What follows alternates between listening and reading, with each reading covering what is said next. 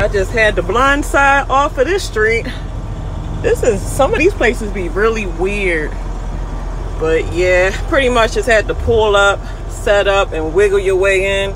Then once you wiggle your way in, you straighten up, then wiggle your way right around to where to where he gotta unload me. So man, this truck thing fuel gauge is messed up. Every time you back and always put on your four-way flashers. Always put your four-way flashers on.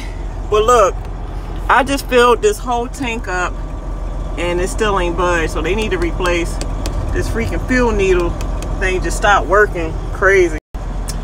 But yeah, honey, my sister at work again. At work again. My head still hurt a little bit, but you know what? I'm just dealing with it. I don't like bump it. I did it to myself. I'm not taking it out. So this just gonna have to be something that I'm gonna have to wait till my hair grow out just for the pain to subside a little bit. But yes, honey. Yes, honey. I'm trying to figure out how he unload me because it ain't like this a doc. But okay, he make it do what it do. So I made it do what it did. I can't wait to get my own truck because I'm so tired of slip seating in other people joint. I don't really like sharing people trucks. I like to have my own truck. So I'm about to start making some phone calls to OTR leasing, Loan Mountain.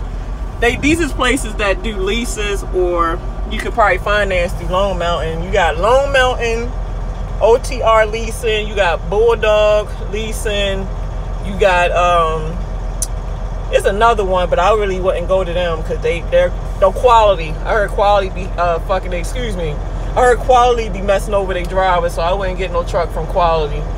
I definitely ain't gonna finance no truck because finances don't have good warranties unless the truck came with a warranty. So I'd rather just lease. So if anything go wrong with the truck, okay, y'all fix this. It's under warranty. This is what the lease is for. This is what my maintenance escrow is for. So come on and fix this truck pretty please.